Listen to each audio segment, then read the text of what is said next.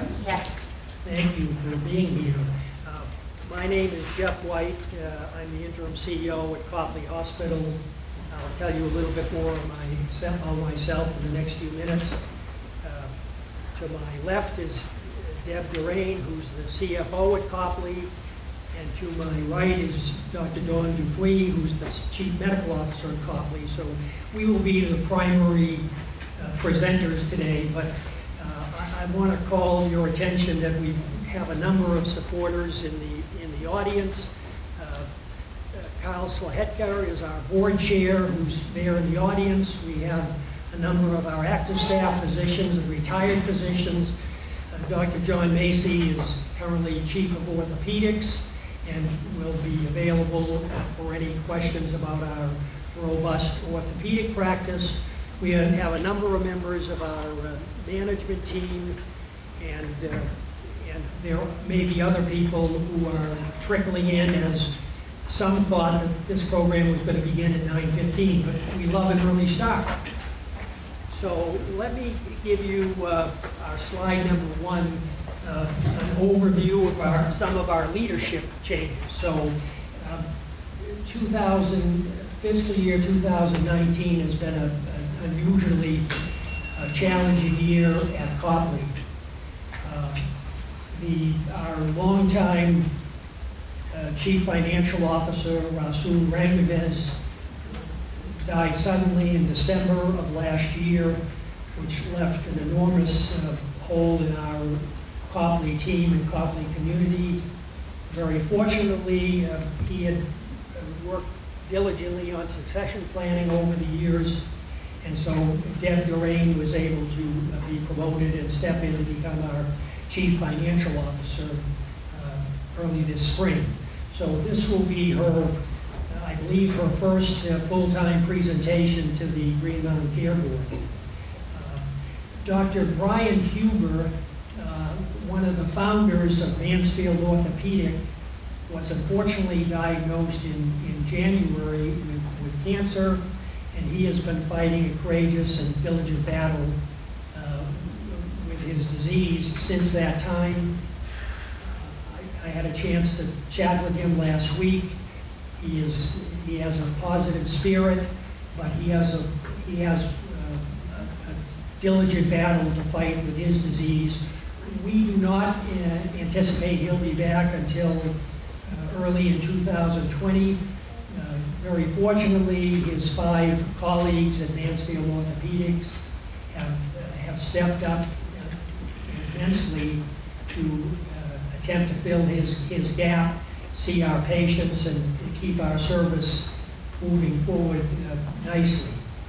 Um, In, in, in March of uh, this year, I got a call from Vera Jones, our chief uh, operating officer, uh, on a Sunday evening while I was enjoying a martini, um, indicating that, uh, that Copley was in the need of an interim CEO. Uh, I had been retired for, um, since 2013, um, but I relented and came and met with the board leadership, the medical staff leadership, and the management team, and so I- I've come out of six years of retirement to, um, to accept this job as the interim CEO. I had a 46-year career in healthcare, 25 working in hospitals in Maine and New Hampshire, was CEO of two community hospitals, and then my 21 years as a consultant at Helms and Company, I had multiple opportunities to work throughout northern New England. I know the the Vermont landscape very well. Um, I was the, my last job before I retired was the, as the interim CEO of Grace Cottage Hospital in Townshend, Vermont. So I, I was able to present their budget in the fall of, uh, or the summer of 2013 to this board. So I'm not unfamiliar with the process. And the other major change in our community is, as you may know, uh, Copley does not employ any of the primary care physicians. All of our current primary care physicians are employed by uh, community health services like Lamoille Valley, known as Cheslev. And they had a, a, a number of changes in calendar 18 and, and resulting in Scott McCray joining them in the fall of, of- of last year as their full-time CEO. Scott and I have been meeting weekly. Uh, We, understand the importance of forming a, a close and independent uh, community collaborative. So it's been a year of, of some significant changes. Our tagline at Copley is exceptional care, community focused. Uh, We will, throughout our presentation, you will hear more about that uh, because we, we believe deeply in, in those, uh, those phrases. Copley, um, perhaps more so than other hospitals in Vermont, uh, has had uh, four years of of, uh, financial challenges. Uh, This, we will end uh, FY '19 with our fourth year in a row of operating losses. Um, I'm old school enough to remember the phrase, "no margin, no mission."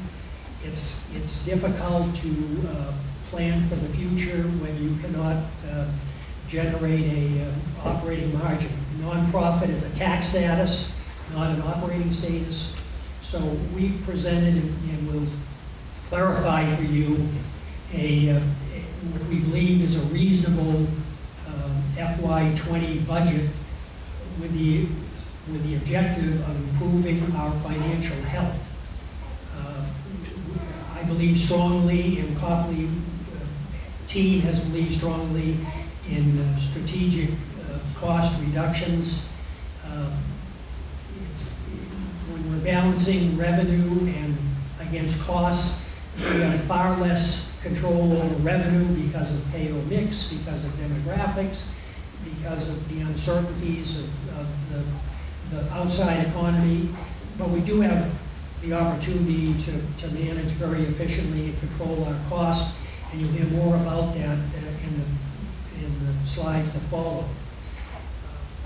We, we need to, uh, we have complied with the budget request of the Green Mountain Care Board. We need to achieve a positive operating margin uh, in FY '20. We need to build cash reserves for needed capital investments and for risk mitigation, particularly including our future participation in One Care. We have, we have submitted our application effective July 31st to participate in One Care Medicaid program effective uh, uh, January 1. But that, as you all recognize, uh, implies certain financial risk, particularly at the hospital side. So we will try to answer your questions. We'll talk more about these in the slides ahead. So I'm going to pass the microphone to Deb Durain to talk to you about the, the budget. Good morning. Morning. Bear with me while I kind of juggle, I need a third hand here. Um, So our proposed net patient revenue for Copley um, includes a 3.5% increase budget to budget. That increase was deemed necessary after taking into consideration some what we consider to be significant cost savings for an organization of our size of uh, 1.2 million in FY '20 um, and incorporating trends that we were seeing in um, an unfavorable payer mix and an increase in bad debt and charity. The 3.5% increase is, is necessary in order for us to achieve a positive operating margin for the first time in four years. We do recognize that uh, this request is technically an exception request in that our FY19 projections are um, currently forecasted to come in below our budget, um, and that we would hit the, the cap of the five percent growth limit. Um, And so we are requesting an exception to that in this, in this budget filing. Looking back over the last five years, we think our proposed net revenue um, is, is reasonable. If you, if you take a look at this five-year trend, boils down to a five-year average annual increase of 2.8%, which is below the state average and, and lower than the Willing Developed Pair Model goal limiting growth to 3.5% a year.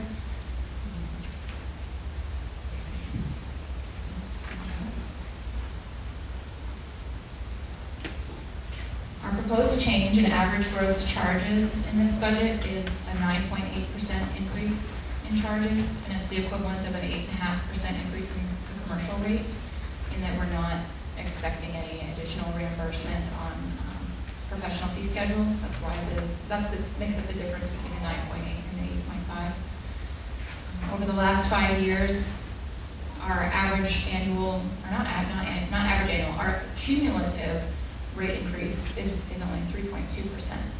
So while nine point eight percent is quite a bit higher than what we've requested in an individual year over the last um, five years, actually for quite a while, uh, we do think it's, it's, it's reasonable and necessary when you look at it in a five-year trend. Um, Out of our total seventy-two point seven million dollars worth of, of net revenue that we're proposing, only one point two million of that is actually funded through rate changes from the last five years. So we don't believe that it's a significant burden on the ratepayers over the five-year trend.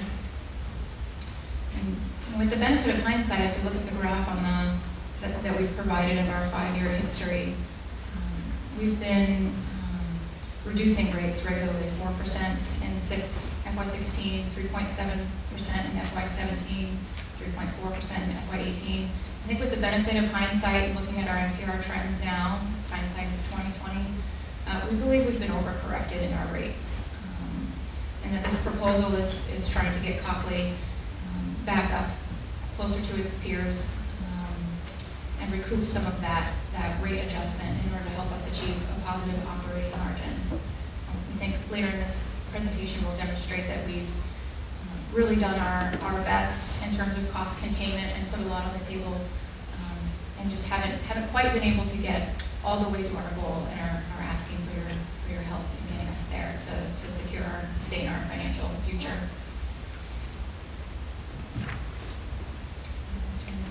Jeff.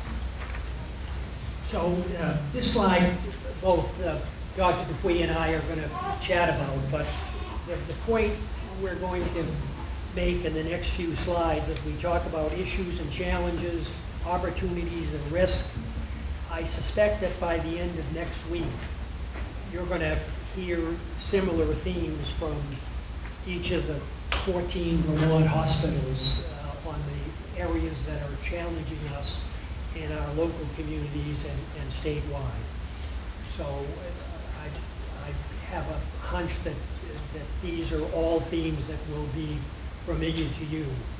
Uh, In terms of our people, um, recruitment and retention um, is an enormous challenge, both in, in terms of skilled professionals, but in every, in every position in the hospital, whether it be a laundry worker or, or a clerk at, at our front desk, there are very low unemployment, there are lots of opportunities, so we are continued to be challenged as our peers are in, in recruiting and re- and retaining people. We have, Vermont has an aging population. Copley and others have an aging workforce. Uh, We'll talk more about this in a later slide, uh, particularly about our uh, primary care positions in our community. But these themes you will hear from, from Dr. Dupuy and I, uh, I suspect will, will ring true to you. Sure, like the rest of the uh, state and perhaps the country, uh, the nursing shortage can certainly affects us. Uh, We deal with that by being a clinical training center for both VTC and Norwich.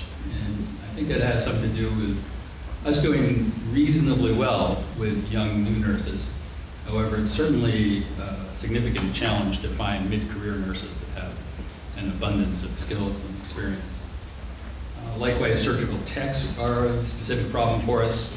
Uh, We deal with that by putting them through uh, school over in Concord, New Hampshire. We currently have our second person going through that program. The uh, the trade-off is a period of committed employment, Copley.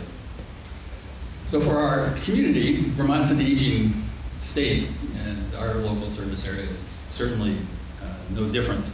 Uh, An aging population uh, has uh, special requirements. As people age, uh, their joints give out, making uh, joint replacement and orthopedics uh, differentially more important.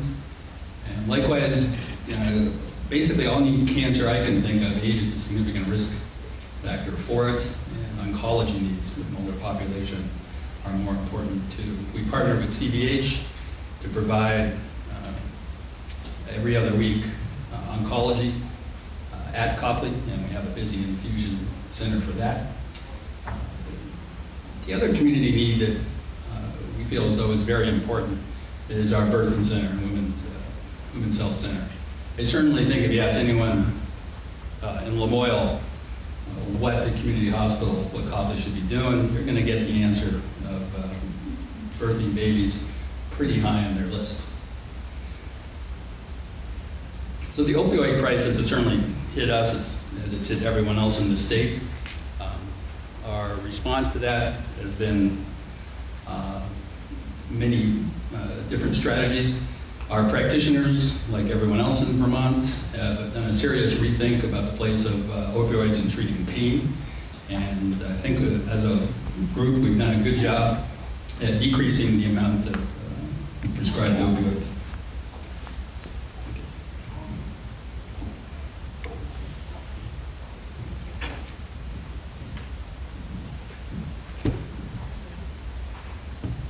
Is it working yet? Is it working yet? Yes. Oh, okay, great. So additionally, we, we partner with the North Central Vermont uh, Recovery Center uh, to do both uh, inpatient and real-time uh, referrals in our ED and in our nursing forms. We also are working with them with a program to actually dispense Narcan directly to uh, at-risk people. Studies have shown that uh, the more Narcan you have in the community, the more lives you save. That's an important risk reduction effort.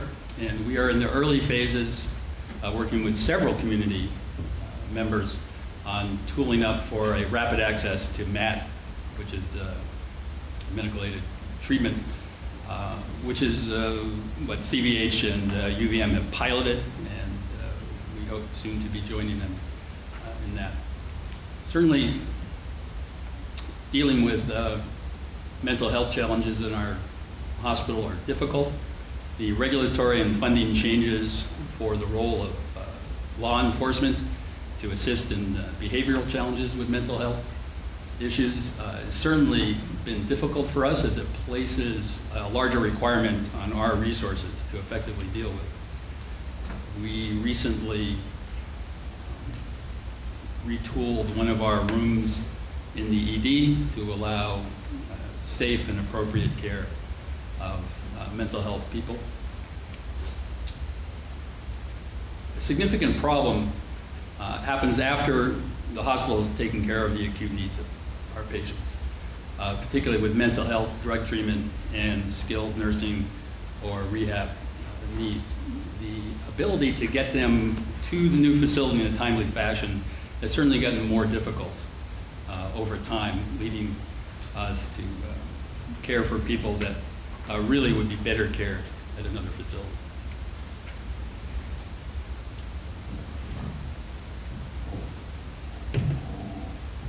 uh, physical and digital space. We have, at our hospital, space challenges. We have some absolutely recently renovated, modernized, terrific spaces.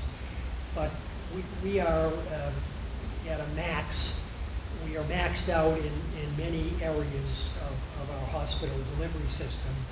And, and that will need to be addressed in the future.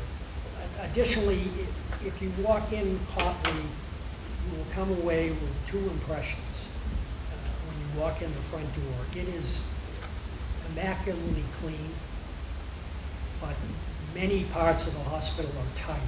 The the flooring, paint, the ceilings, uh, and, and that, ha- that is all part of deferred maintenance that will need to be addressed in the future.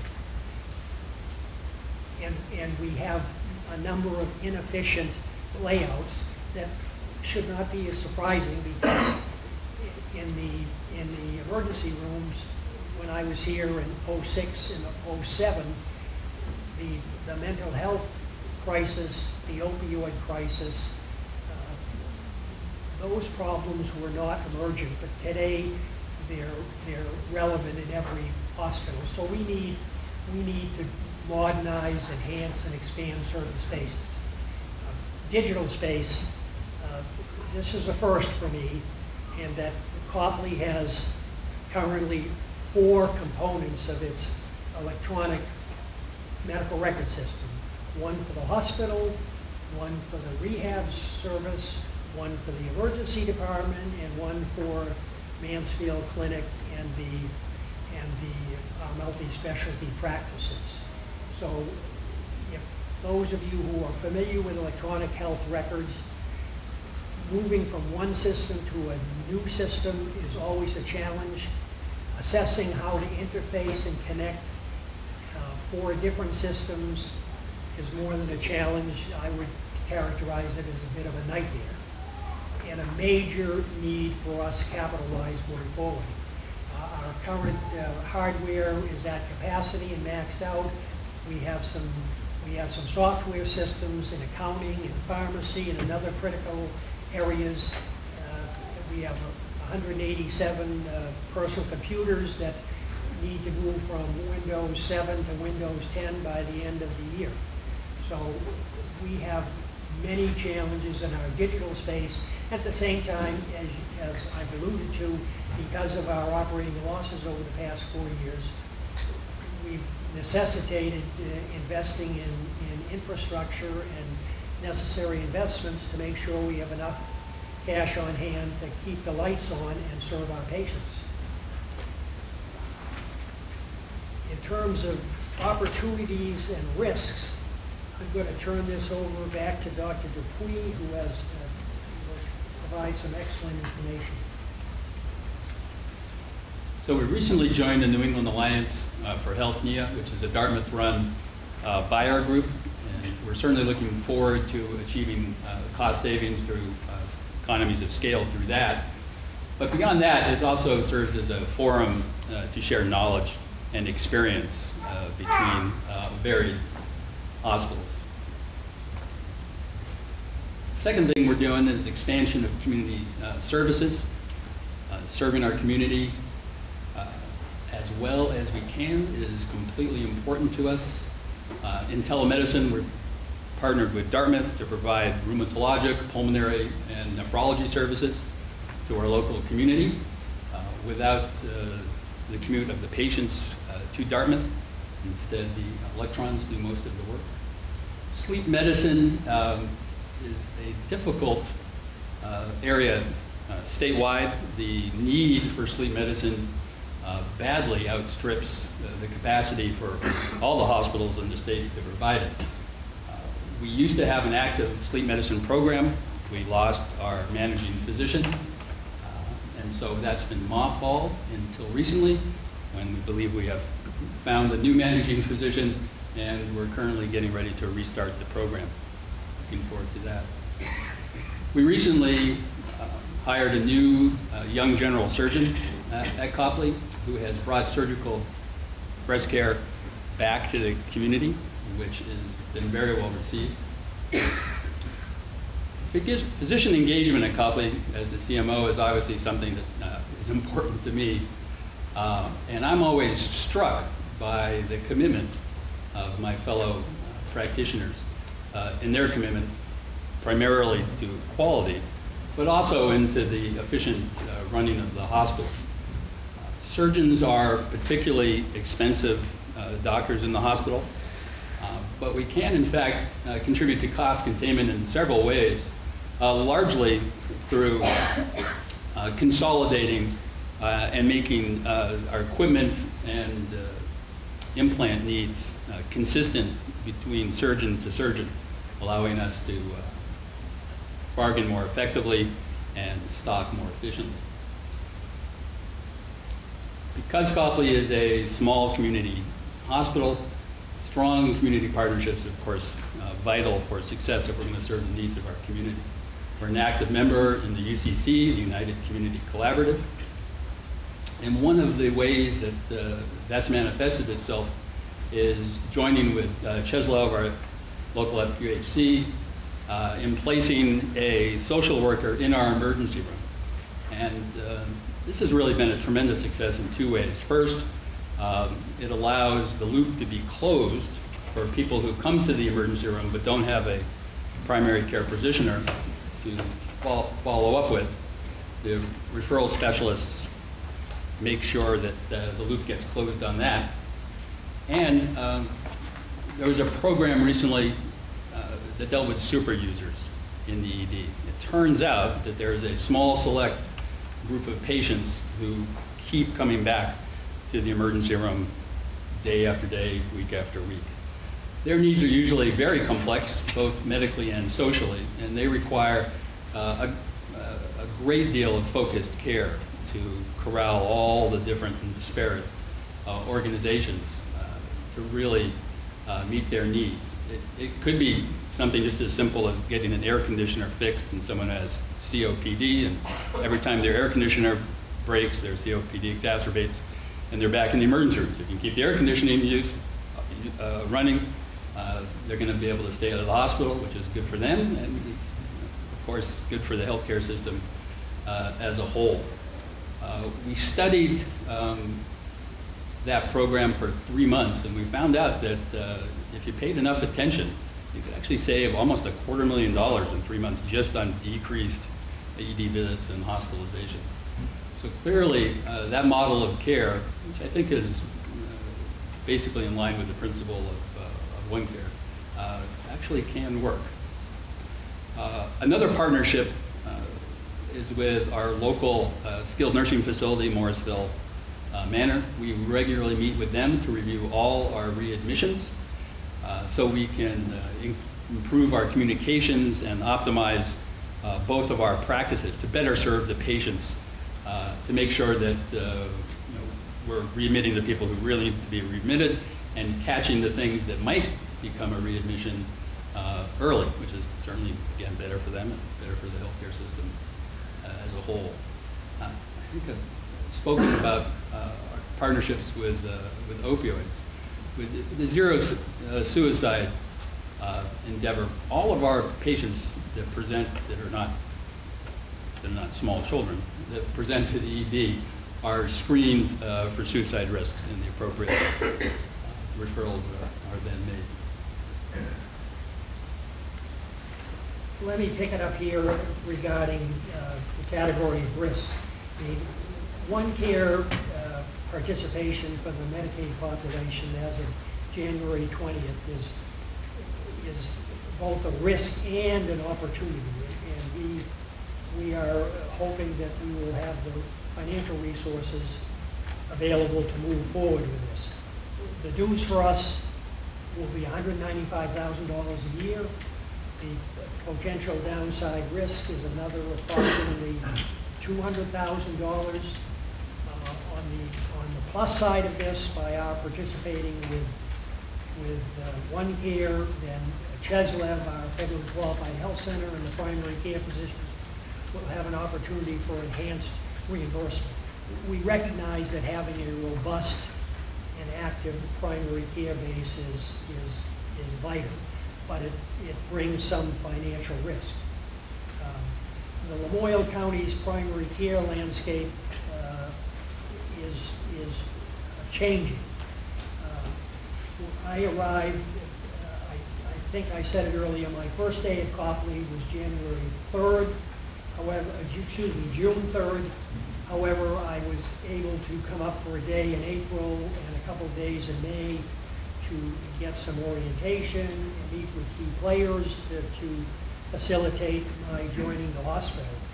Um, Between my visit on April, in April and my visit in May, we learned that three uh, active physicians at, at Cheslev Community Health Center um, had uh, offered their resignations and were intending to, to enter private practice. The good news for our community is that they are opening a private practice in Morrisville.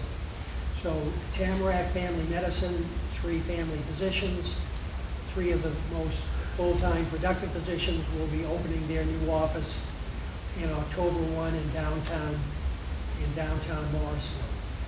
Um, So, so that, if they had decided to leave and go outside the community, um, it would have been earth-shattering. Because we've had continued loss of primary care practices in our service area. Uh, One of our nearby towns, Johnson, which is the home of Northern Vermont University and a vibrant small town, uh, this past year lost its uh, community uh, provider. Uh, Hardwick Health Center uh, in in the town of Hardwick, within the past year, has had two of its you know, longtime family physicians retire. So we, and, and we, we anticipate that there will be other primary care physicians retiring in the not-too-distant future. Uh, Last night at Copley, we had a special board meeting. uh, when- When Kevin Mullin and Robin Lunge were with us, and we heard about the, what's happening in Vermont, and in fact, the nation, in terms of the supply of primary care physicians and advanced practice providers. So all of us are facing enormous challenges. Everybody is recruiting for primary care, either to add or to replace, and, and we're no different. So, uh, and finally, a risk we have is funding vital community services. Can Copley continue to provide the services the community needs without a positive operating margin? And do we remove service lines to maintain a positive operating margin while meeting our cap? I mean, that's a question that, that at least three other critical access hospitals in Vermont have faced, uh, resulting in the, in the closure of their birthing center. On, on my second day at Copley, on June 4th, during our Finance Committee meeting, uh, Dr. John Macy, who's a member of the Finance Committee, shared with us a wonderful article that I will make copies of for the board, published in April 19 by the Federal Reserve Bank of Boston, that talked to northern New England, Maine, New Hampshire, and Vermont, in the, the effect of primary care physicians leaving communities, hospitals, uh, leaving or, or not any longer providing a birthing service, and what that, what that provides as a barrier for, for access. So this is a wonderful study reiterating many of the things that we'll talk about, others will talk about. So there are our, in sort of narrative term, we've laid out our opportunities, challenges, risks. Uh, I- Deb will talk with you here about our financial health indicators and, and what we need to move forward.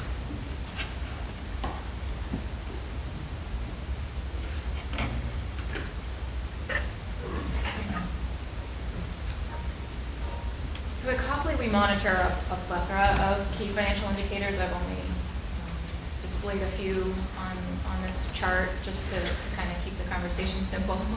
Um, I've characterized them in three categories um, to talk about our, our trends in profitability, our leverage position, and, and also liquidity. Can you hear me? Okay. Um, Looking at the operating margin, we've already discussed that, that trend. Um, Four years of operating losses in a row. Our, our budget is looking to, to try to turn that back around. Um, Total margin also trending unfavorably. The, the one solid year in FY seventeen with a three point nine percent total margin was, was really due to tremendous philanthropic support from our community for our um, OR project without which we would have had a loss that year as well, um, possibly break even. Generally, at Copley, we'd like to target a three percent operating margin. We feel that that would be reasonable and enough to allow us to, to make certain prudent investments um, in our infrastructure and, and and other capital needs. Um, In FY twenty, this budget proposes a one point four percent operating margin, getting us halfway there essentially. we still have more, more work to do. Um, In terms of our leverage, I've presented long-term debt to capitalization and debt service coverage ratio, which I think uh, displays a a satisfactory level of debt. I don't think we're too highly leveraged. Our debt service coverage is trending unfavorably, but that's more a result of our unfavorable profitability trends. We get that back in line, and I think our, our leverage position is, is healthy. In terms of liquidity, days cash on hand is something I, I monitor quite, quite regularly. Remains an unfavorable trend. We've been, you know, continuing to pay our, our bills very timely. I didn't show the, the AP days ratio on here, but you guys have that at your disposal and can see that we're, we pay quicker than our peer group. But in order to keep that days cash on hand, um, something more tolerable, we've, we've had to defer capital investments, which we'll be talking about in our capital slide later in the presentation.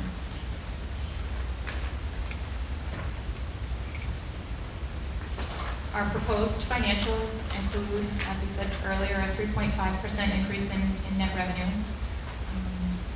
Just to touch on a few other key elements, um, provide a little additional explanation, our other operating revenue is proposed to decline nearly four hundred thousand dollars.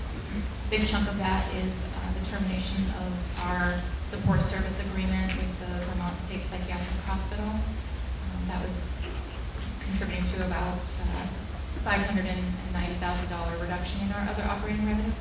Um, And and operating expenses have declined in um, coordination with that amount as well. So it's not a significant hit to our bottom line, simply off the top, off of our revenue and off of our expenses.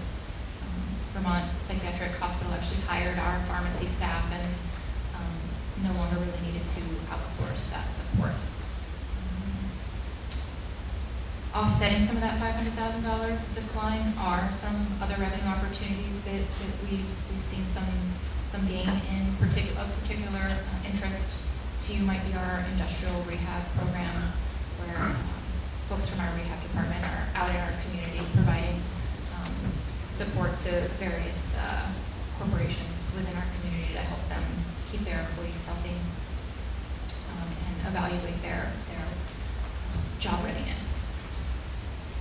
Also, we do um, receive grant revenue, um, research revenue for some orthopedic research programs that are, that are underway that are kind of exciting.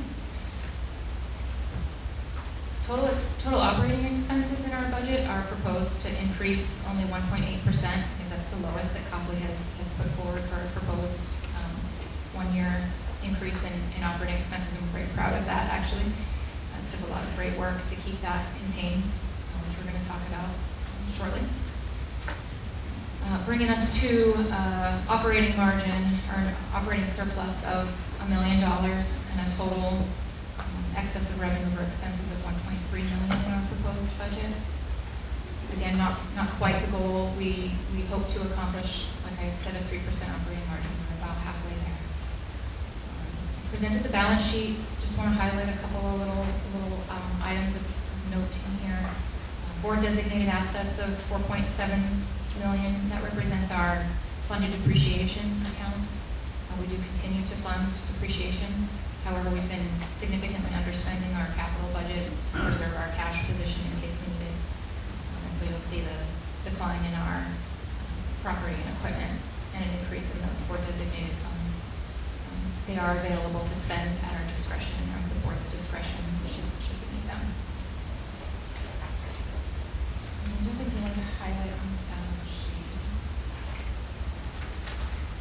So I want to focus the majority of my conversation, I suppose, on um, expense drivers and cost containment. Because I think perhaps in the past, we have maybe not spent enough attention on this, on this subject with Copley. Um, Expense drivers, I think you're gonna hear a lot of similar, similar stories. Um, For many of the hospitals, we, we certainly struggle with the inflationary pressure on wages um, and benefits, um, not just related to um, the individual wage that folks are requesting and and trying to keep up with the cost of living in the state of Vermont, but also the cost of turnover, um, and the cost of recruitment and retention uh, to keep people with high, high skills in our organization. Um, Also significant inflationary pressure on drugs, double-digit increases at times. Copley in particular, oncology drugs make up actually more than half of our pharmaceutical spend. Those, that inflationary pressure in that bucket is quite significant. We'll talk about that a little more later. And also inflationary pressure on supplies and plants in particular. Those are things that we've been contending with over several years. You've heard that from us, I think, every year. Um, Another, another element to add is, that, that maybe we haven't talked about enough in the past, is our service mix and the complexity of the care that we provide at Copley. Um, You have heard, we have a renowned orthopedic program. We we certainly provide more orthopedic care than um, our critical access peers do in the state. And that does have an impact on our cost structure. Now, I've presented a chart here, I'm trying to walk you through it, um, showing our cost per adjusted admission. Has been um, one of the ratios that, that we follow that Copley has not trended favorably in over the last several years, uh, in particular compared to our critical access peer group. Um, I'm going to try to explain why. Um, I've also, so the cost per adjusted admission is the blue line.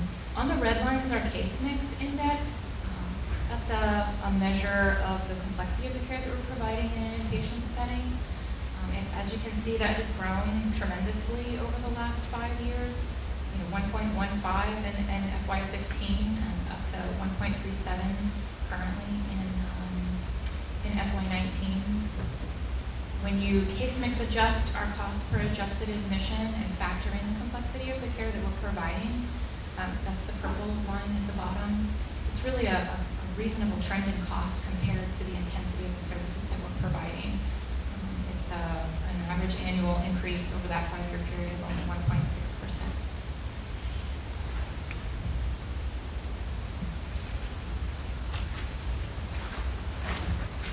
containment efforts at Copley, um, certainly to me in the day-to-day life have felt um, significant, but we've done it in a more uh, thoughtful, maybe slower, strategic approach. We, really want to um, have it be a part of the culture at Copley and, and not an event where we're, forgive the expression, but cutting off our nose to spite our face.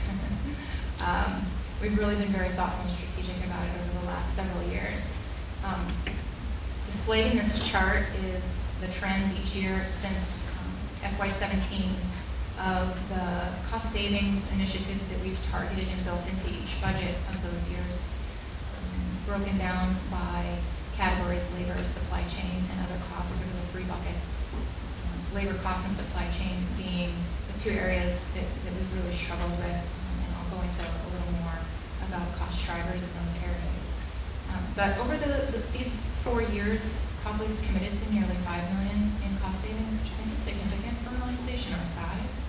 Um, Has been a great endeavor, a lot of hard, hard work and teamwork in our organization uh, to do this in a way that, that we feel is attainable and thoughtful and, and- and not to cause a significant morale problem when you come back and um, really put your organization at jeopardy and um, be able to continue to provide the high quality, excellent care that we do provide. To date, we have achieved 3.5 million of that, nearly 5 million in savings. As I said before, we still have, we still have more work, more work to do. Um, Some of the, if you want to know more details about some of the examples of, of these cost savings, you know, just please ask and we can go into that during the question and answer section in the interest of time, so we can get through our slides. Um, In FY twenty, our proposed operating expenses, if you look back over the, uh, uh, three-year period, reflects an average annual growth of only two point two point eight percent. I'm super proud of that. I think that, that's, that's, it's, it's sort of like finally, you know, the efforts that we're putting forward, we're starting to see come to fruition. And I know that we have, for the last several years, asked for your patience, and I think it's, it's paying off, so thank you. Um, Though I think our cost containment efforts have been significant, we still weren't quite able to achieve that, that desired three percent operating margin all in one year. So again, we're asking whether the Green Mountain Care Board's help um, in terms of sort of writing our rates to help us get a little closer to that. Um, And we will continue our work in future years to get to that three percent operating margin. So highlighting some of the cost drivers related to labor and, and related costs, I think, I think these are not going to be surprising to you at all. You've heard this from us year after year. Uh, we continue to have, you know, over the last several years, continue to have a need for travelers. We will always have a need for travelers. We are, um, I'm going to skip around the slide a little bit, but we are actively collaborating um, with academic institutions and um, making investments in growing our workforce from within in order to help address some of those um, cost pressures related to the, the need for travelers, but it will never be eliminated. Um, In our FY twenty budget and in our FY nineteen actual experience, we are, we are seeing a reduction in travelers, and so that has been some cost savings that we've been able to, to put forward into our Market adjustments when we have turnover or in order to retain skilled folks, um, definitely apply, apply pressure to our wage. And also, again, service mix. You know, The, the mix of services that we provide and the growing complexity of the, the patients that we care for, not, not just with orthopedics, but also with, with um, mental health and, and substance use um, disorder patients who, who need extra one-on-one care. Um, have been areas of cost pressure for. If you look to the chart on the right-hand side, oh, I probably should have put a percentage in there. Um, The historical actual growth is sort of represented in that dotted trend line, uh, has been about a four point seven percent annual increase. Um, If you kind of take a look at FY nineteen and FY twenty, the blue bar there being our, our projections and proposed budget, we're sort of bending that curve, we're coming in under that historical trend uh, from the, from the work that we've been doing. Um, In addition to trying to grow our workforce from within and, and address our, our challenges with with travelers and retention, we've also, over the course of these several years, um, been able to identify workforce efficiencies and reduce FTEs largely through attrition. Um, We have a hiring action committee whenever a position becomes vacant where the leader of that department has to provide support for why they continue to meet that role and and are always looking at uh, a vacancy as an opportunity to create some efficiency. That they have to justify um, replacement of that FTE. I think that um, activity has, has served us well over the last year or two. Uh, In addition to uh, the workforce um, efficiencies that are built into our cost savings, NIA will also provide us some savings on the, on the benefit management side, um, as well as, I didn't list on the slide, as well as in clinical education. So we're looking forward to that. We're looking forward to the relationship and the, the the other things you're going to gain from that affiliation that are not cost savings, but will add value to our organization and for the care that we provide in our community. Taking a look at the chart on the bottom right related to productivity, I, with our case mix adjustment conversation, trying to reflect and, and demonstrate our FTE structure compared to the complexity of the services that we provide. We um, have shown FTEs per 100 adjusted admissions, which historically not a favorable trend on the surface uh, when you look at Copley. However, when you case mix adjust it, we're actually trending favorably. We're kind of flat, going down a little. Um, I see this as, you know, a positive sign of the work that we're doing.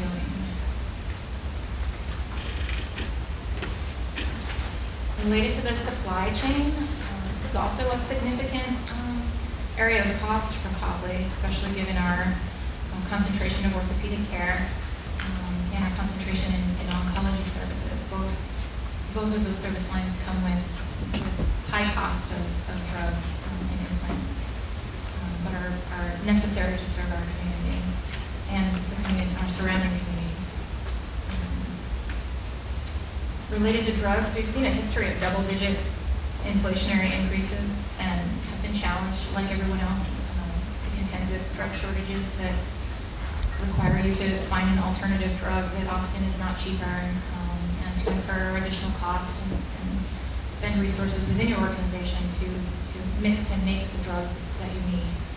Um, If If you look at the drug cost trend chart off on the right-hand side, uh, FY fifteen to FY eighteen, that dotted trend line um, represents a twelve point eight percent average annual increase. And that's very difficult to contend with and a half percent cap that we're trying to manage too. Um, Part of that has been inflationary pressure, but another piece of it has been the growth of our oncology and medical infusion care program that we uh, run in conjunction with Central Vermont Medical Center. Um, That we have definitely seen grow, grow over the years and it actually represents about half of that drug spend. Um, If you look at FY nineteen, largely due to our um, purchasing power that we're going to gain as a part of our NIA affiliation. Uh, We're going to, we're seeing you know, the bending of that cost for, um, in our drug costs as well. Related to supplies, um, similar, similar chart, that trend line um, shows a 7.6% average annual increase from FY '15 to FY '18, and FY '19 and '20 are showing us coming in under that. Um, that historical growth trend has been not just due to um, inflationary pressure, but also the increased demand for orthopedic care. As we see our, our population aging, I, I have every reason to believe that the demand for that service is going to continue to grow, and that, that needs to be, be ready to meet that demand. Um, Also, we do have patients who come um, from all over, outside of our service area, outside of the country even, um, attracted to the, the excellent program that we have, has a a fantastic reputa- reputation. And uh, some of those folks are, you know, have heard about custom-made implants like the Conformis knee, um, and are interested in uh, pursuing that type of an implant. That's also something that's applied pressure to our um, implant costs over the years. And we may see changes in that in the future. Related to cost savings efforts in the supply chain, Neil, we've already talked about. Um, That'll be about a a $200,000 savings um, in our supply chain area. Um, Also, we do continue to participate in 340B. Um, We expanded that participation, I believe, last year, maybe the year before, um, into our um, infusion center and expanded that in in outpatient settings. Uh, That, that's accountable to $170,000 worth of cost savings for Copley. Um, since I know the question may come up, um, for a point of clarity, Copley currently only participates in the, the cost savings side of the 340B program. We do not have a retail pharmacy 340B program, so there is no other operating revenue associated with that in, in, in this budget. In the past, we've explored the opportunity to pursue that um, several years ago. We've actually explored it two, maybe three times. Um, And Copley simply does not attribute enough prescriptions for us to be able to effectively run and, and and gain a benefit from having the retail side of that, of that program. In lieu of Copley Hospital having the program, Cheslin, our QHC in the community, has the benefit of that program. And um, therefore, our community is benefiting from it and from the the cheaper prescriptions, prescription cost that comes with it. We just don't get the revenue. Um, Another area where we're anticipating cost savings has to do with um, inventory management improvement and um, physician engagement in that process. We have a um, very caring, um, very engaged group of surgeons who um, I'm impressed by day after day in their commitment to this hospital. I know that with their help, we're going to be able to bend that cost curve on our supply chain side as well. So hopefully more positive news subjects to come in our, in future budget presentations. An update on our FY nineteen performance. So in the slide deck, I have um, given you June actuals because it was due before July was closed. Um, we were on July as well. Um, But as of June, our net revenue was down two point eight percent.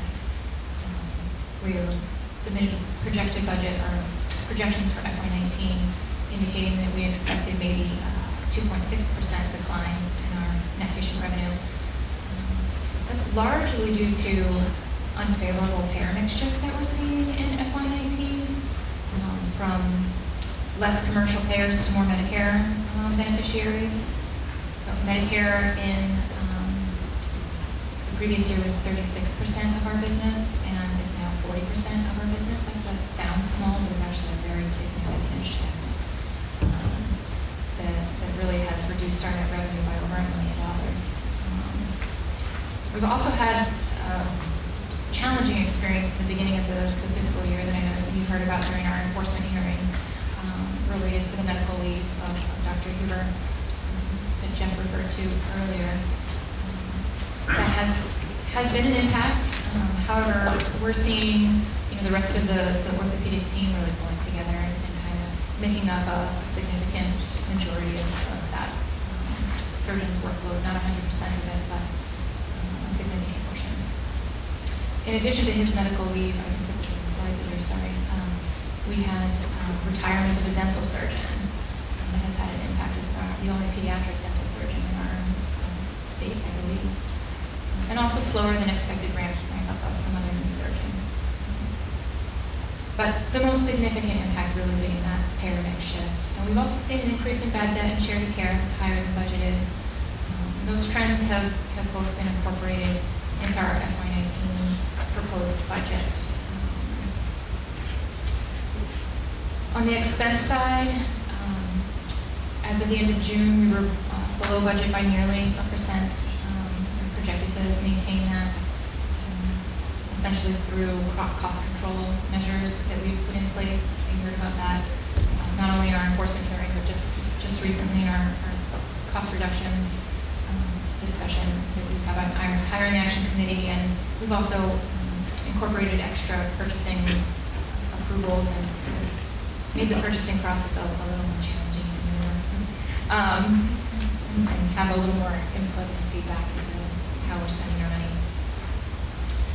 Um, but counterbalancing that, you know, has been the continual wage pressure that we experience and inflation on our, our drugs and implants.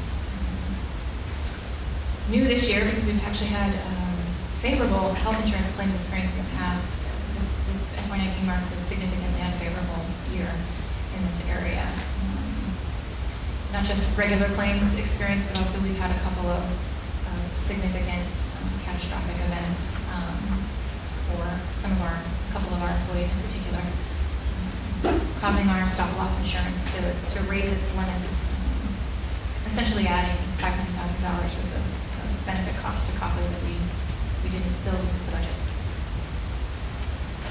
So it brings us down to an operating loss of nearly a million, one point eight percent operating loss margin for FY nineteen.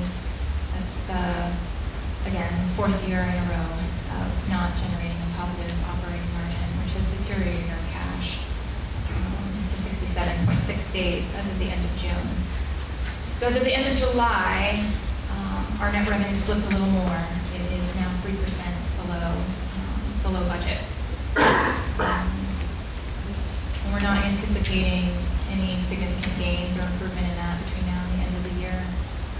Summer months tend to be vacation times. I, I don't anticipate any um, boom in utilization. In fact, uh, August will probably be another challenging month for the company.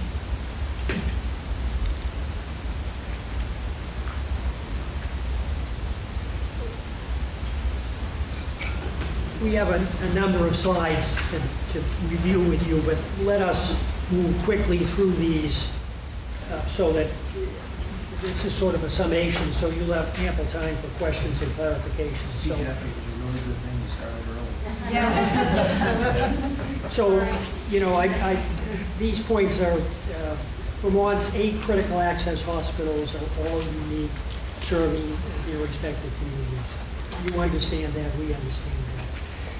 Copley is not the typical critical access hospital. We have a center of excellence in orthopedic care. Uh, We have five now full-time, well, Brian is on medical leave, full-time fellowship-trained orthopedic surgeons. We're drawing patients from all over the state and region. Uh, Copley is, is a engaged community partner. We are the uh, largest full-time employer in the community.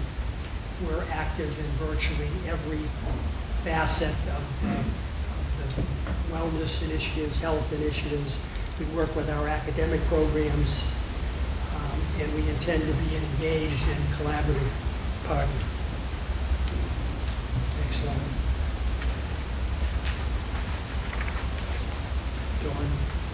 Dawn.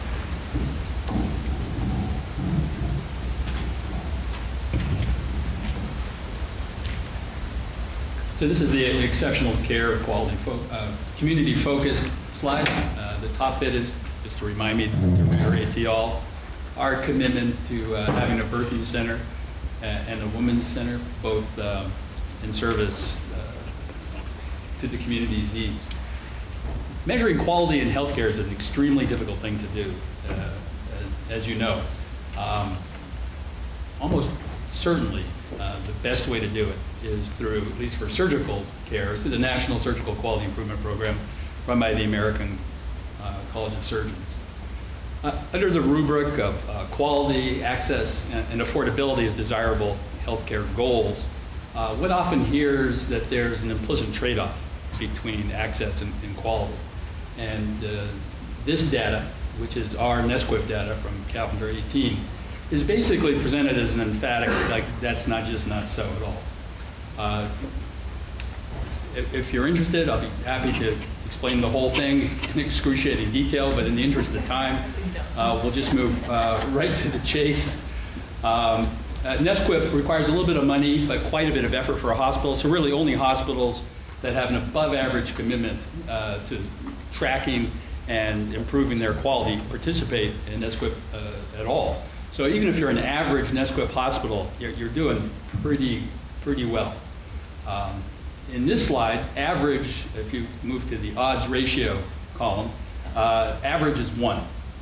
If you're below average, you're, you're, up- if you're below one, you're above average. If you're above one, uh, you're below average.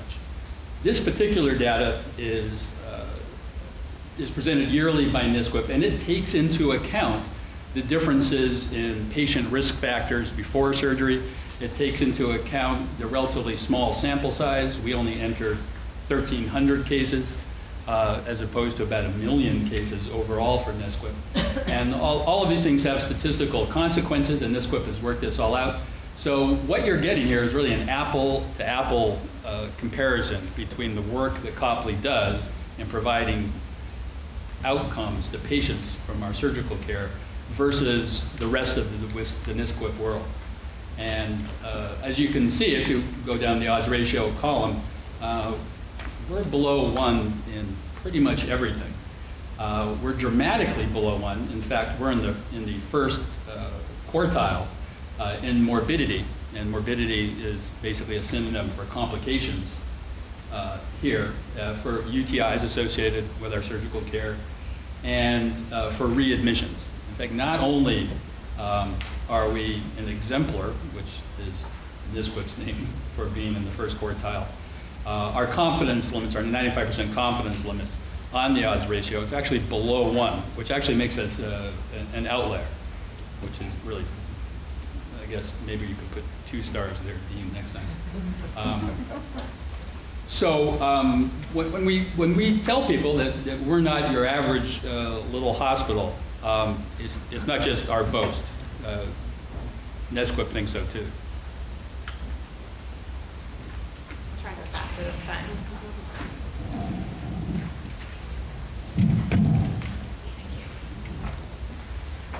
Our capital budget plans, um, in FY nineteen, uh, as I alluded to earlier, we've significantly underspent our capital budget in the interest of preserving our limited cash reserves. We've underspent it by two million, deferring some, some needed investments. In FY twenty, uh, we have uh, proposed a capital budget that limits uh, our- spending to the amount of our depreciation. Uh, None of those items are over five hundred thousand, and um, I just, you know, need to, need to say, and- and and hopefully you hear it, we cannot continue to um, defer our capital investments, we are going to need to be able to fund these investments for, for the future. There are a couple of major capital investments that we see in the next couple of years as being important. Uh, A fully functioning and integrated health information system, since we do have four, and we're relying on interfaces and a lot of manual interventions um, in working with these four products that, that add risk to Copley and also challenge the continuity of patient care. It's, it's not ideal for the patient experience, it's not ideal for our staff as well and their productivity.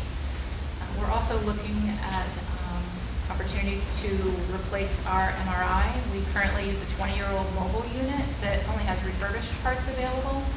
And we're evaluating our options of a fixed site versus mobile site, uh, mobile MRI, um, and are really looking to the need to improve the quality of the images that the MRI can provide and to provide a better patient experience. It's not really a great experience in the mobile MRI that we have currently.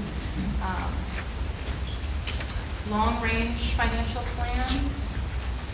Ultimate goal is to strengthen Copley's financial position and our flexibility. We, we, it's imperative that we achieve a three percent operating margin in twenty-one and beyond.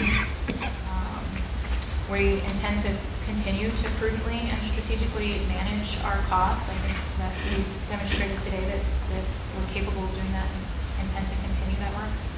Um, However, it will be unrealistic to expect that we're going to be able to have a million and a half every year of cost savings at some point. Um, That rate of cost savings opportunity is going to decline.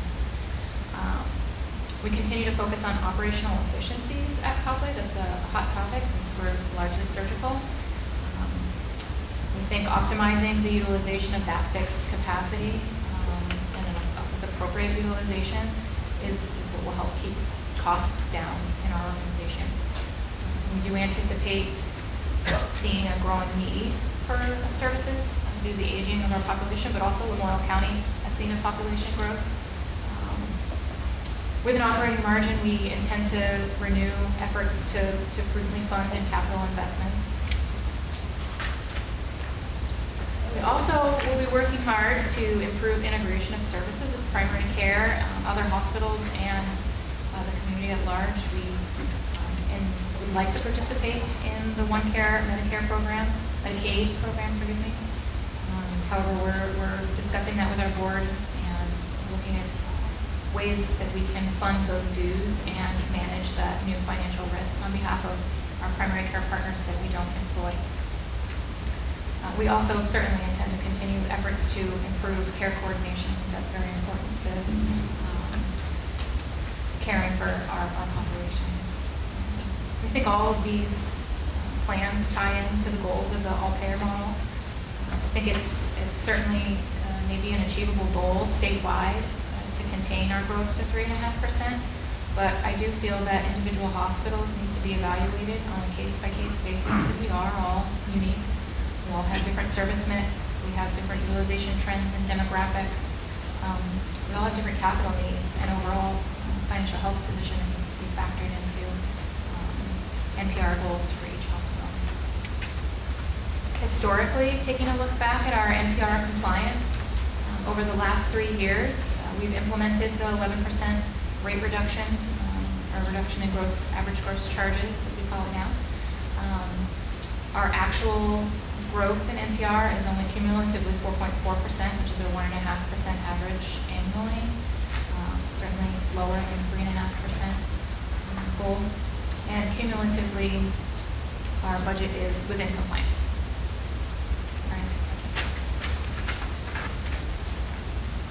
Taking a look at the overall total cost of care um, for patients in our community, I've highlighted the, the Morrisville service area.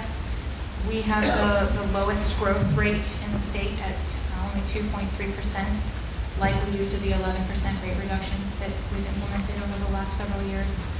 Um, This is probably the, the, one of the largest contributors to this outcome, um, including other efforts, cost containment efforts at, at Copley, and excellent coordination of care between our community partners.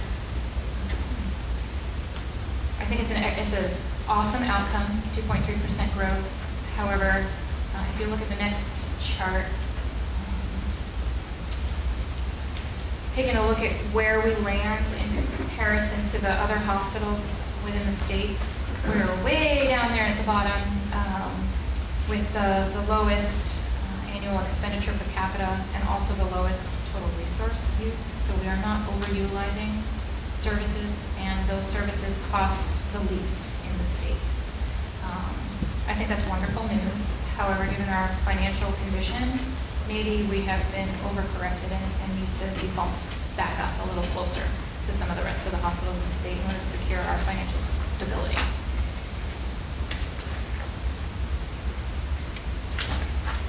Finally, let me close.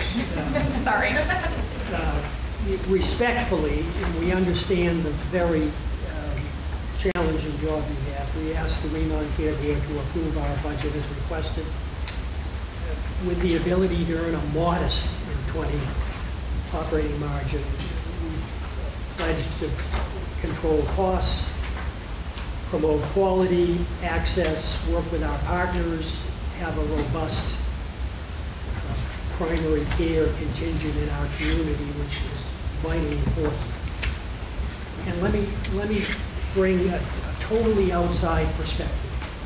So uh, this slide shows very unique statue on the, in the slide. It's called the Foster G. McGaw Prize. This prize sits in the lobby of Copley Hospital.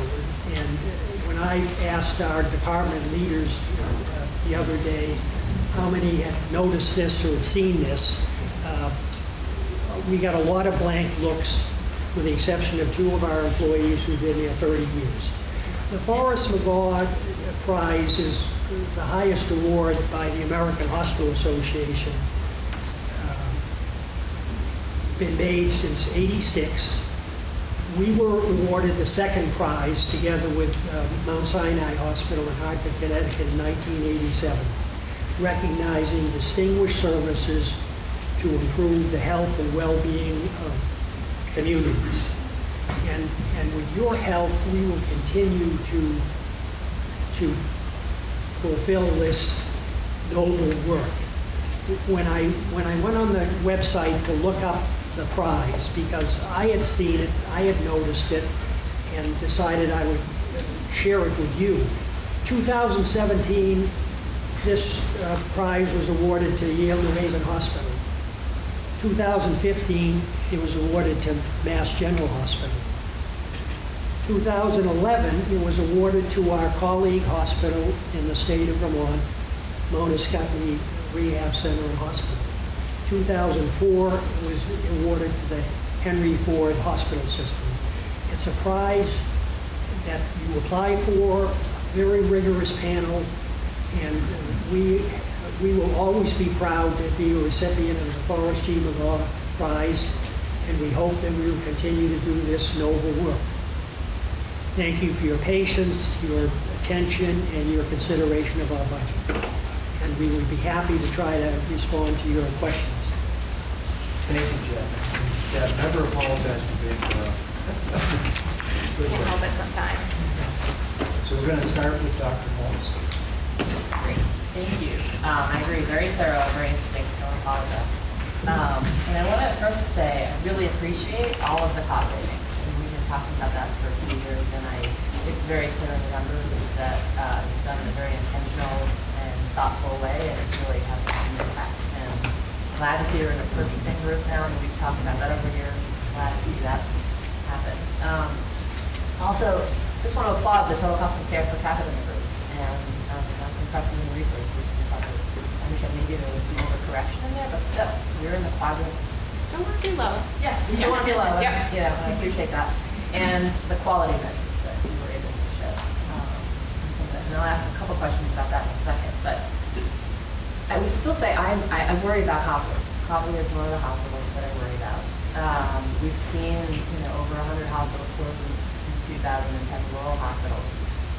And over my time at the board, the hospitals that have turned themselves around and moved from red to black and been able to achieve greater financial sustainability been those hospitals that have either affiliated or have informal ties with other institutions, right? So that they can share services so that they can bring, you know, access to specialty care into their, uh, into their regions so that they can spread fixed costs, whether it's IT or other types of shared services. You know, Brattleboro Quarter, those were a couple examples that we heard about Brattleboro yesterday, um, on Monday.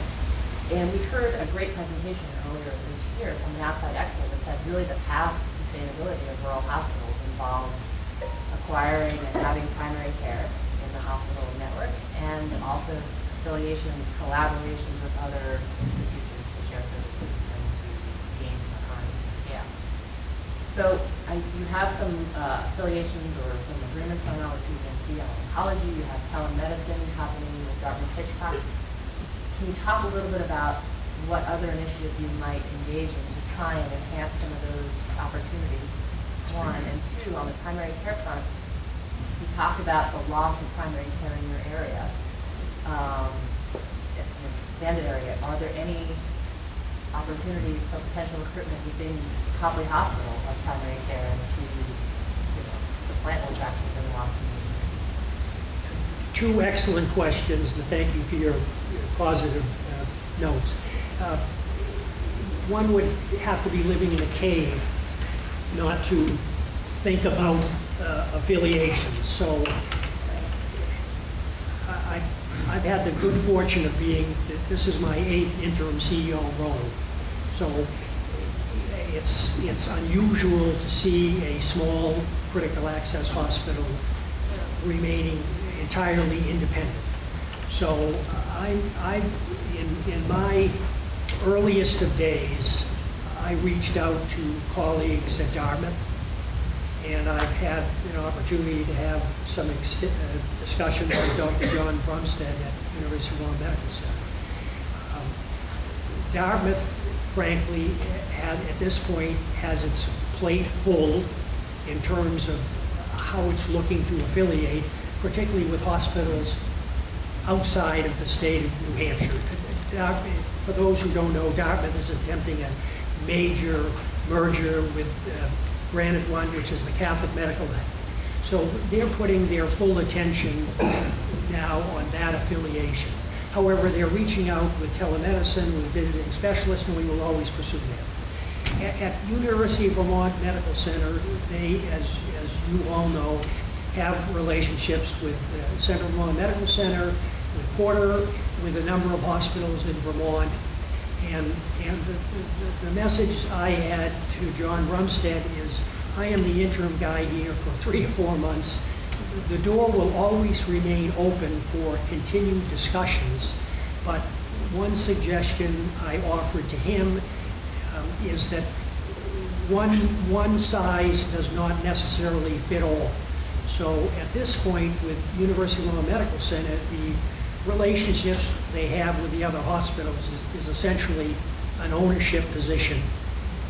And, and because of my, in 2002 and 2003, I was the interim CEO of the London Hospital, just south of Hanover, and we affiliated with Dartmouth in a brand-new model that they created, which was a three-year management contract, where we were able to keep local community control of our core services, of our board, that we, we, uh, we employed our CEO jointly with Dartmouth. And that model was so successful that after three years, New London became a part of the Dartmouth system uh, willingly and successfully.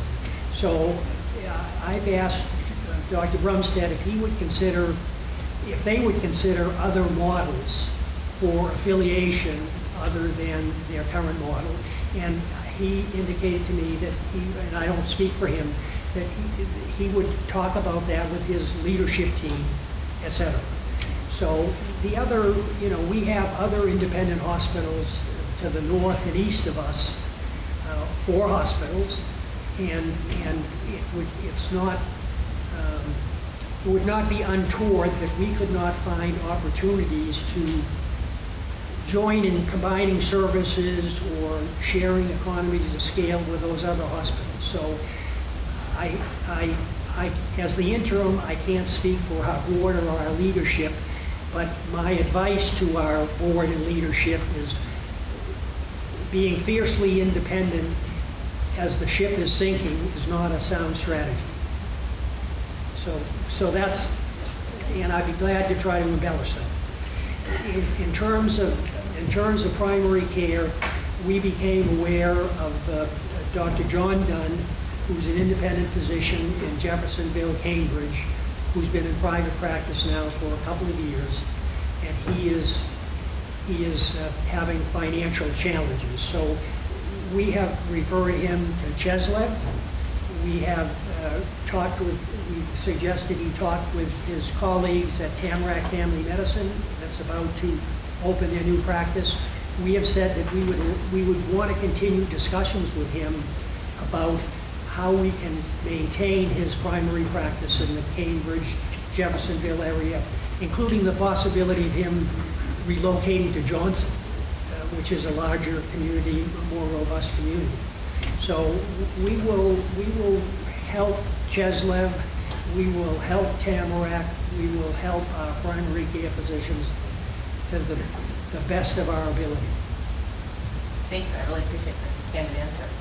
Um, With respect to access, I appreciate also the access and quality, sometimes tensions. People argue that, you know, it's hard to have access and have quality, particularly in small rural areas. Yes, you're giving the microphone to the right person, because I want to talk about your slides. Um, You know, there is, there is empirical evidence out there that the number of cases can be tied to quality outcomes. Your data suggests that you're doing an excellent job of maintaining quality on surgical outcomes. And so I wonder, uh, do you have minimum volume standards that help you choose the types of surgeries and procedures that allow you to have that quality standard, uh, meet that quality standard? I guess the most direct answer to your question is, is, is no. Um, of course, there's a little bit more to it than that. Um, it is true that in selected cases, uh, volume tracks quality. Interestingly enough, it's mostly based on the institution uh, and not on the surgeon. So low volume surgeons in a high volume institution tend to do better than high volume surgeons in low volume institutions. So, so that is true. Um, However, none of the things that, that we do uh, are really captured uh, in that, in that model. We really don't do things uh, that have been shown to uh, have quality track volume. So the, the cases that, that we concentrate on at, Copley are things that, that we do fantastically well, and that even though our entire case volume, which is somewhere in the, in the low 2000s, is not very high, um, we actually do do quite a few of the things we do. And that's, I think, why we do those things so well. We don't, we're not trying to be all things to all people, uh, but the things that we, we do offer, which you know, should be 80 to 90 percent of uh, our community's healthcare, uh, are things we do, not, not even just well, we do them extremely well. Hopefully Uh, that sort of answers it. Yeah, it does. I mean, some you know, the birthing center, I recognize people want a birthing center in their community. Right? I would want a birthing center near me. I'm Yeah. to deliver a child at one that I only have to go 15, 20 minutes um, away to get to deliver that child. But I also worry about, um, you know, hospitals that are delivering fewer than 200 babies a year. There's some evidence that there's some quality that can compromise in the sense of, um, you know, there's evidence about postpartum hemorrhaging among women in hospitals that have less volume. So there are things that I, can- that I, I- that I'm recognizing are trade-offs. Um, So I, I don't know if you want to speak to that at all. Yeah, um, so, uh, I mean, again, that's, you know, we, we see the same world uh, that you do. Most uh, of the risk uh, can be foreseen and- and dealt with appropriately. Uh, So we definitely do have a birthing center, and we definitely want to continue it, and the people who live near us definitely want us to continue it. But we don't offer that service to, to everybody. We have fairly strict criteria for, you know, low to average risk birthing at, at our facility. So you're, you're exactly right. There, there is a concern. We completely share your concern. And, uh, and we feel as though we act uh, appropriately to, to maintain the uh, appropriate uh, risk profile for our patients. And your quality metrics show that, so I appreciate that. Um, Quick question about, little bit about the cost savings. And one of the things that struck me this might be for you, Deb, but um, you put up a ch- uh, chart on there on the FTE per adjusted admission. One of the the statistics that stood out to me was your FTE per adjusted bed. So your FTE per adjusted bed is 11. The state average is six. So I don't know how that tracks with the data that you had about FTE per adjusted admission and why there'd be such a difference, but that stood out to me as, how is that staffing working that so above the average in, uh, per adjusted bed? Do you have a sense of It that? may yet again be a factor of our service mix. You know, as a critical access hospital, we're limited to only 25 beds. Um, Inpatient services really are not the significant driver of revenue at our hospital, where we do more outpatient care than we do inpatient care in our facility. And so that statistic maybe just be challenged by that service mix. What would be your, so take a if look you at had your average daily census per staffed bed, what would that be on average? Yeah. And then the maximum? Yeah, I think our average daily census is around 15. I think it's at 14 right now. Um, And, and that's how we staff. We staff to that, uh, 15. Got it. Okay, so you're not staffing to 25, but having. No, no, we don't staff to the beds. We, we staff to our average daily census and our, our expected demand for services. And, um, you know, they're adjusting that based on, you know, the surgical schedule and you might be able to speak more to that than I can on the nursing side. I, I see, I see heads nodding. I'm right. Yeah. Yeah, it's basic true, basically true. I mean, average is, of course, just average. It actually changes, if you're doing a significant surgical volume, uh, the actual census change, can change quite a bit from day to day. It can be 10 and then 20, so it averages at 14. But the, the day-to-day variation and therefore the, staffing requirements change, change dramatically. And, uh, you know, we, we work hard at, at, at making that, making that great. Yeah, I'm sure that's a challenge. I've heard from other hospitals that that is a challenge, the swings. Um, Quick question about the investing in the sleep. So one of the things when we hear about community needs, sleep, I was interested by your comment that um, needs are far exceeding capacity. When I hear about community needs, we hear about mental health, we hear dental, we hear about substance misuse. I don't think until this presentation I've heard a lot of sleep center needs. So I'm just curious about that, your decision to reinvest in the sleep. Yeah, I don't, I don't think our community has, you know, an especially high volume. Nobody's uh, sleeping uh, and more yeah. stuff. No, but, but what actually, what actually happens is that uh, the backlog for sleep studies in the state is, is impressive. I mean, to the, to the point where hospitals are just renting hotels rooms and, and equipping them uh, to do it. So that's, that's really the problem. It- It's a, it's a generic problem. It's not, it's, it's not just to us. But you're feeling the need to some degree for the state.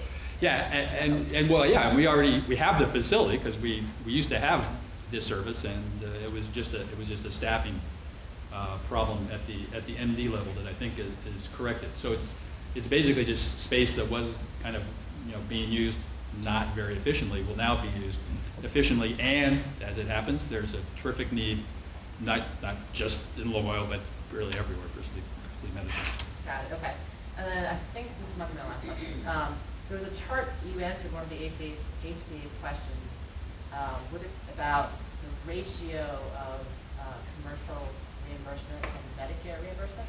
And I just want to make sure that I'm understanding the chart. If Medicare reimbursed hundred dollars for a service, would it be accurate to say that commercial payers reimbursed between hundred and fifty-six and hundred and sixty-nine dollars? If you look at that chart.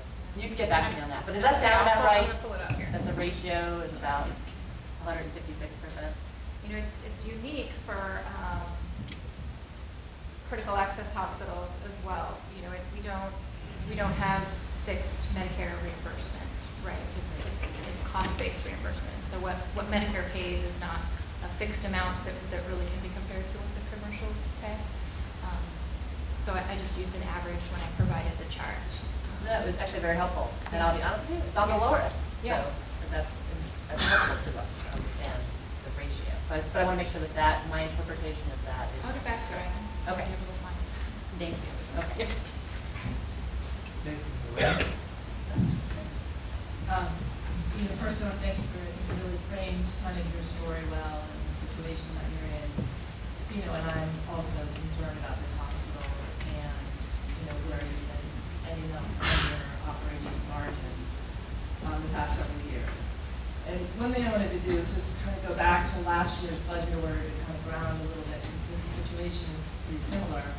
Um, which we said we're concerned the hospital is relying too much on commercial rate increase to address, address budgetary challenges and resolve ongoing financial concerns. Rather than considering other business changes such as finding expense reductions, implementing operational efficiencies to achieve a positive margin. And most importantly, is we're concerned about the hospital's sustainability if utilization continues to decline and expenses continue to exceed NPR.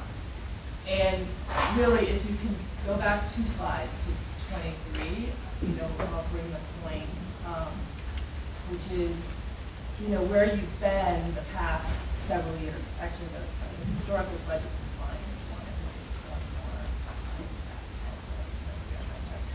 Um, and what's really concerning when I look back at your history, and I agree, you know, there's been some, uh, commercial reductions that have been cut in the past. You know, I'd also say you're a hospital that's a little more favorably positioned than a lot of the other hospitals, and that you have about sixty percent of your revenue coming in from commercial, um, insurance base. So when we take a ten percent increase, you know, you get a large part of that, um, hitting commercial increases more so than other hospitals go through because of your base is so large. But when I look at your history there, in sixteen, you actually exceeded, um, your NPR by one point eight million dollars, yet when you go to your profit, you were actually unfavorable, nine hundred thousand. When you go to seventeen, and I didn't have the expense numbers for sixteen handy, so I'm gonna switch to expenses, but in seventeen, you increased your NPR by two hundred thousand, and your expenses went up by eight hundred thousand. In eighteen, you had a one point eight million dollar decrease in revenue, but your expenses went up seven hundred thousand. In nineteen, you have a million and a half, you're forecasting a million and a half decrease in revenue with only a six hundred thousand increase in expenses. And, and, you know, that concern is that even in your forecast that you have for twenty, if you don't hit the top line numbers, irregardless of what we do with the commercial increase, you haven't been able to manage your expenses, even with all the cost reductions that you're doing, which are, I applaud all your efforts there. Um, you know, so to me, that's been really the biggest driver of your change. It hasn't necessarily been the commercial increases, that certainly aided to that. But once you went to budget, your expenses continue to be higher than utilization changes, even when you have favorable, favorable increases on the top line. So I really want to challenge you on, you know, how, how do you feel about the increase that you have in for two thousand twenty? You know, a large part of the growth, the six, six point increase year over year to where you're tracking is pretty significant. You're falling a little bit short again on nineteen, you know, and when that happens, you're not able to change your expense load. So we just want to get your point of view on how you feel about the forecast, what's going on with that, how can you get your expenses in line with where your trends really are for top line? That can be something that's certainly challenging for an organization of, of our size. You know, We don't have the, the benefit of, of the scale that say a, an academic medical center would have in order to adjust up and down according to your volume. And we're a critical access hospital, designation was really established to sort of recognize that we have limited ability to flex our expenditures when our volumes do go down. That's sort of the foundation of why our critical access designation was created to secure our financial stability because we have a high degree of fixed costs in an organization of our size.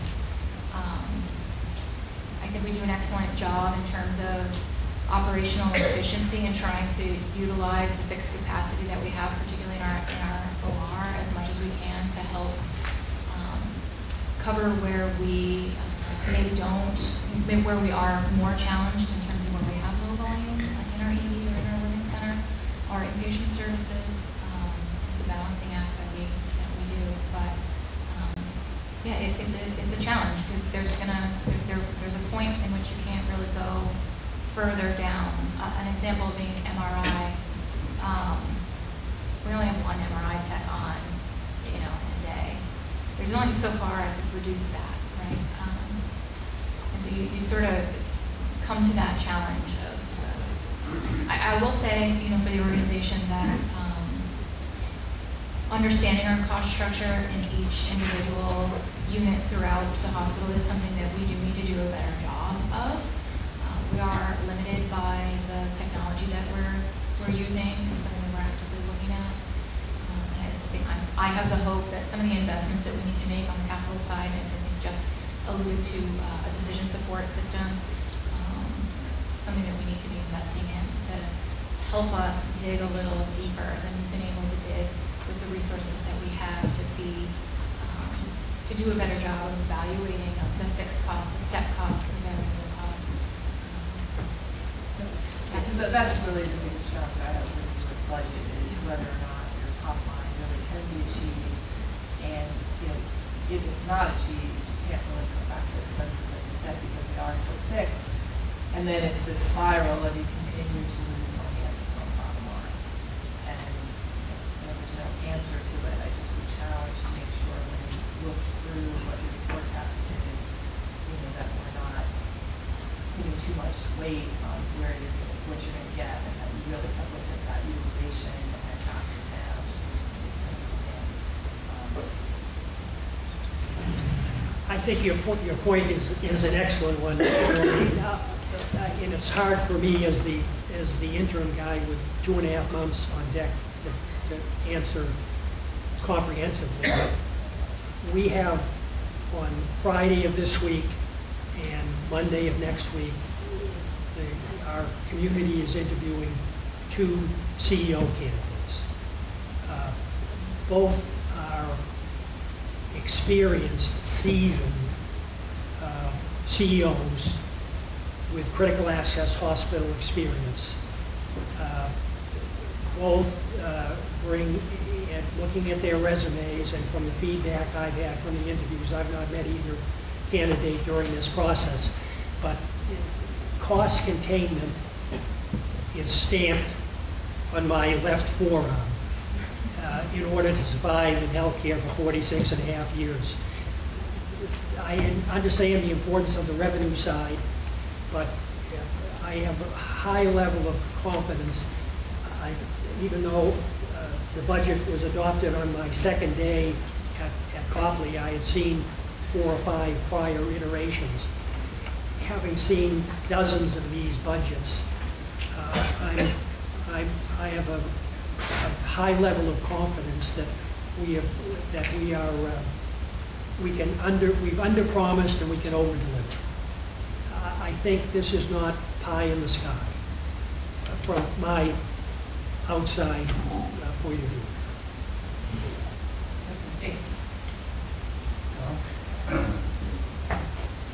Well, I applaud the, um, the three-year trend that, uh, you folks have, um, achieved of bringing your cost structure, uh, keeping it below three percent growth line. That is, that is, um, um, a very good job, and I'm sure it's stressful, um, and a, a lot of work.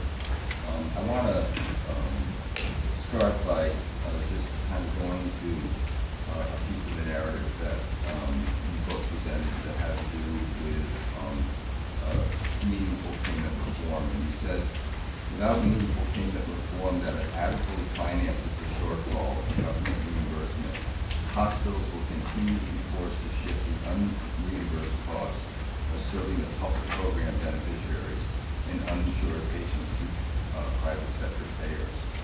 So I, I look at that statement, and then I look at the um, gross revenue that you expect to raise over 2020, um, this comparison to 2019 perspective, um, and then the contractual allowance is subtracted from that.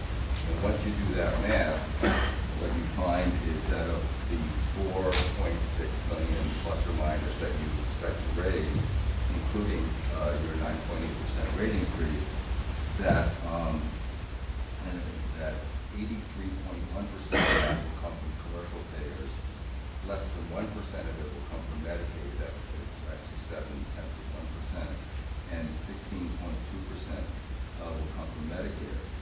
Yet when I go to the blueprint and kind of look at your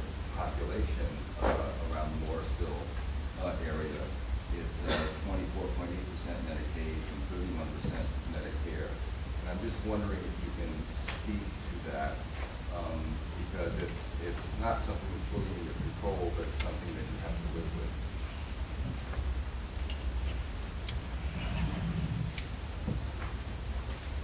So I think one thing to consider is that, that Copley Hospital isn't, isn't solely serving its, its local community. We, we do draw from outside of our service area quite a bit, um, particularly in our orthopedic program, where we're drawing from, from Chittenden County. I, I think it, it's over half of that, uh, program is coming from outside of our direct, um, primary service area. Uh, That tends to end up being commercial volume, not always, Medicare volume as well. Um, I think that that has played a, a factor in that difference between how much commercial Copley has versus what, what our community demographic looks like, if that answers that piece of the question. Um, Another factor in this, in this proposal is, um, it does appear like a significant, in not it is a significant increase to the commercial payers in this particular year with the rate ask. However, our, our history, we've given back a significant amount, and the amount of our net revenue in FY20 that's actually being funded through rate changes is, is quite small, under 2%.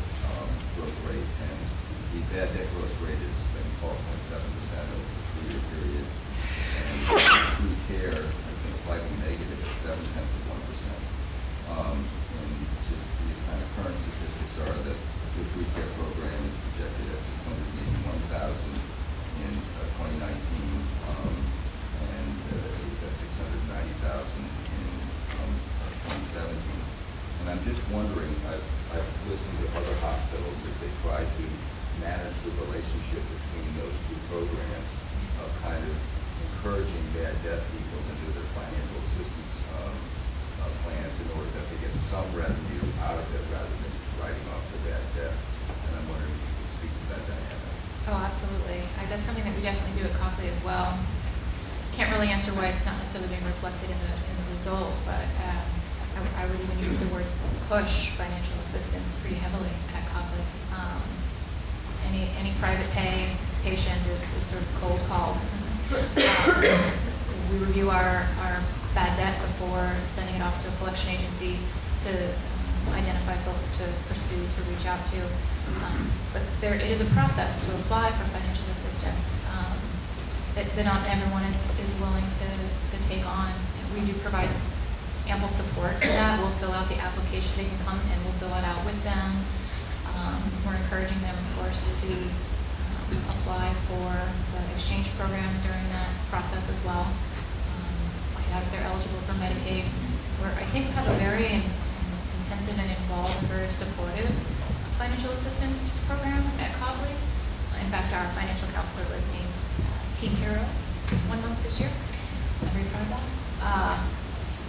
Not sure why it's not necessarily reflected in growth in those numbers, but we, we push pretty hard. Um, My uh, next question basically has to do uh, with possible risk in in terms of your utilization metrics. I noticed that from 2019 projected over 2018 actual, that um, seven of the uh, um, utilization metrics were, are negative and only two were positive. But that in your uh, projections from 2019 perspective to 2020, um, you have seven positive and two negative. And uh, I'm just wondering if, you know, what kind of worry you might have that that transition from a, a negative trend in utilization to essentially positive trend in utilization, um, you know, might not unfold. So we undergo um, quite a process when we project utilization at Copley where we're looking at historical trends. Um, That, that isn't always the, the singular approach that we take. Um, We also evaluate medical staff changes. That, that plays a pretty big role in, in some of those, those estimates. Um, Folks who come and go. Um, folks who are new and are ramping up may have estimated their ramp up to happen a little faster than it did in reality. Those are things that we also factor in.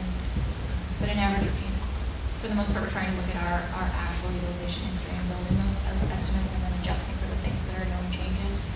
Um, This particular budget cycle, I feel like we were pretty conservative with those projections actually, um, based on, on the the known changes that we, we have in our organization in terms of medical staff. Um, I'd, I'd say, you know, our FY nineteen budget was probably a little too aggressive. Um, And if you look year over year versus budget to budget, you may see a different trend um, of growth. Um, I feel pretty good about the, the realistic nature of the utilization assumptions. There are some I, I, folks were saying they could do more, they could do more, and I said, let's, let's wait and, uh, count our eggs when they, or count our chickens when they hatch. Um, I prefer to take a more historical analytical approach to that, and as I said, adjust for medical staff changes or no, or new service, new programs, for example, you know, this year are sleep study program. And my last my question is, um, you know, you mentioned the uh, contract that you had for uh, pharmacy support agreement with Mott State Psychiatric Hospital. The loss of that contract was a pretty big hit to your other operating revenue. I'm just wondering, how did that decision happen? What was the contract and what, why was it not um, renegotiated?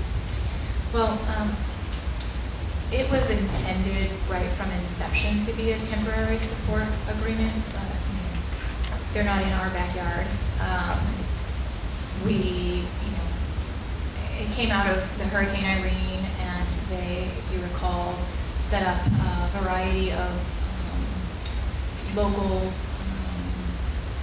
psychiatric care facilities. There was one placed in Morrisville, and that was when our support began. Um, We were right there down the street. We did more than pharmacy support for them. We provided a lot of, a lot of other uh, support services, IT, linens, all, all, all the support services that we provided, but it was quite a bit more. And then when they moved to Barre, um, the idea had been all along for, for them to be able to do these services, provide those services for themselves, and we've just kind of been working with them slowly, um, eliminating, you know, support services that we provided as they were able to, to take that on themselves. Um, So it's just, it was never intended to be a permanent thing.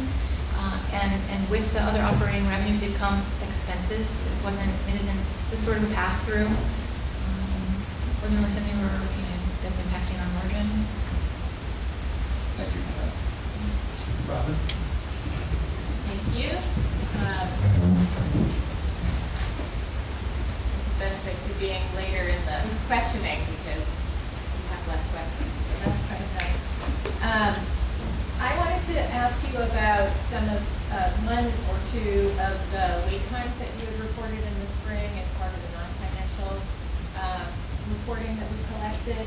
In particular, I wanted to ask about OB because it looked like the wait times on OB were on the high side compared to some of the other hospitals. Um, And I know, noticed in your narrative, you mentioned that you're looking to increase your midwifery support. Um, So I wonder if you could speak to that a little bit.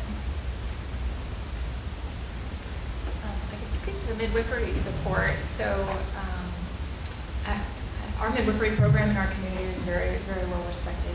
Um, I use them too.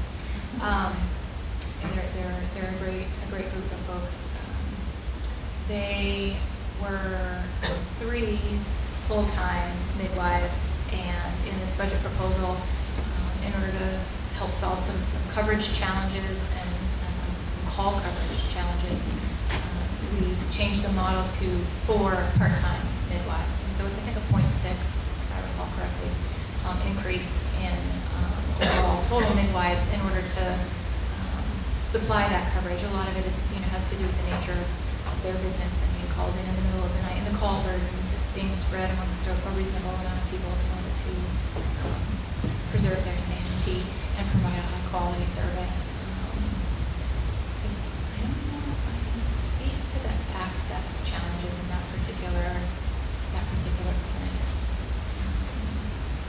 That's fine. If you have any thoughts on it later, Okay. just shoot an email. I will definitely follow up on it, because I know Yeah. that we have people that know the answer. Uh, The other area that you were not actually unusually high compared to other folks' is cardiology, but it was a pretty high wait time. So do you have any thoughts on that as well? And again, you can get back to it.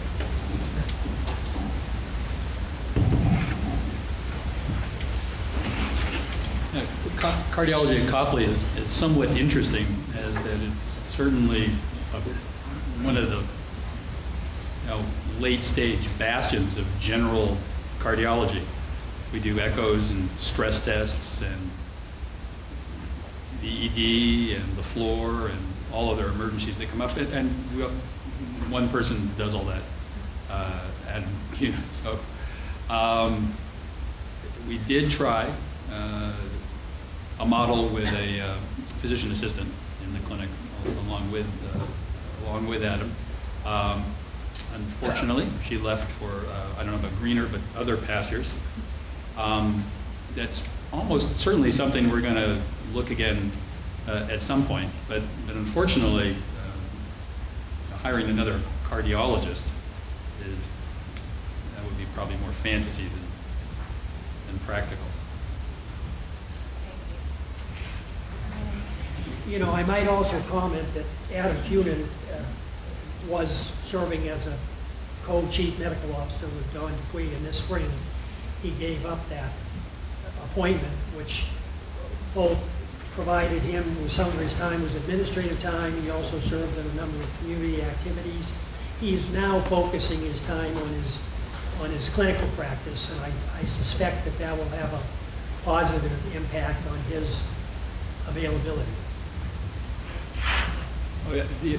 The other thing that, that happened about the time that those numbers went out is that uh, at Newport, they changed over from having their own cardiologist to being supported by, by Dartmouth. And uh, right at about that time, they, we were deluged with, with phone calls because it was a little uncertain for a while exactly what was, what was going on. And those numbers almost certainly reflect that, although I don't think they've gone down a whole lot since then. Thank you.